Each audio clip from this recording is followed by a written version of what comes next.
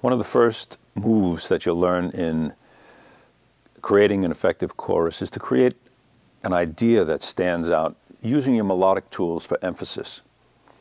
And um, in this particular chorus, one of the things I did was uh, I created an idea that uses, for instance, long notes that are very dramatic, high notes that uh, show the audience this is um, an intense idea.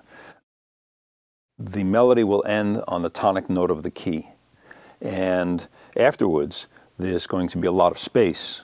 And don't forget space. After you end your uh, title idea, uh, let the audience think about what they just heard.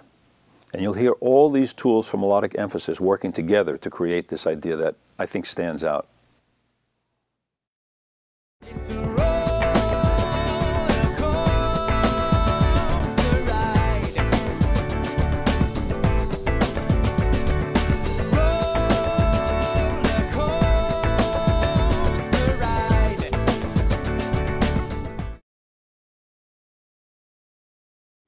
And you see how they all work together uh, to tell the audience this is a central idea of the lyric.